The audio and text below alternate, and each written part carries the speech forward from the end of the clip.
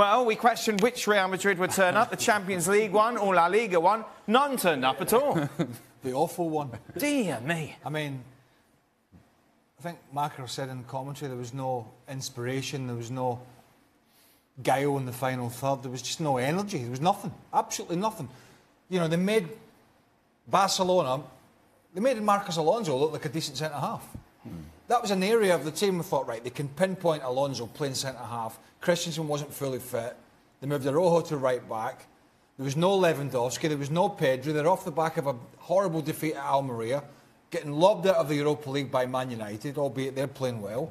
You're at the Bernabeu, and that's that's what you produce. Yeah. I mean, don't get me wrong. Barcelona's shape was good, Very right? Nice. Defended really well, but boy, yeah. I mean, Vinicius Junior spent the whole 90 minutes complaining and whinging.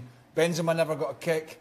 Really, the changes didn't work. I mean, it was just an awful performance from Real Madrid. It was so flat, so mm. lacking energy, Ali. And as much as you want to praise Barca, brilliant, great yeah. for them, bouncing back after a couple of horrible results.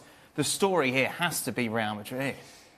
It was a lifeless performance from Real Madrid. And, and, and again, it's if you were to do this against Elche, if you were to do this against Almeria, you can kind of say, you know what, hey, they overlooked the rival, they're not really interested, they're not really concerned, so on and so forth. But they did this against Atletico Madrid on the weekend, kind of dismissed it because of the result by Barcelona against Almeria. And then you say, okay, well, here, yeah. against Barcelona, El Clásico, Copa del Rey semifinal, for sure, for certain you're going to get a better version from Real Madrid. None at all. None at all. The lack of intensity and urgency in passing of the ball, in movement with and without the ball.